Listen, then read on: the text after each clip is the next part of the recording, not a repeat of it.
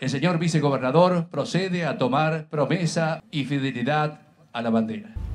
Prometen defenderla, respetarla y amarla.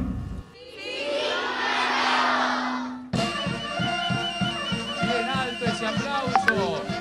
Hoy es un día muy especial, haber podido recuperar el juramento a la bandera, no solamente por los cadetes, sino también por nuestros alumnos de cuarto grado, después de tanto tiempo del cual no lo podemos hacer.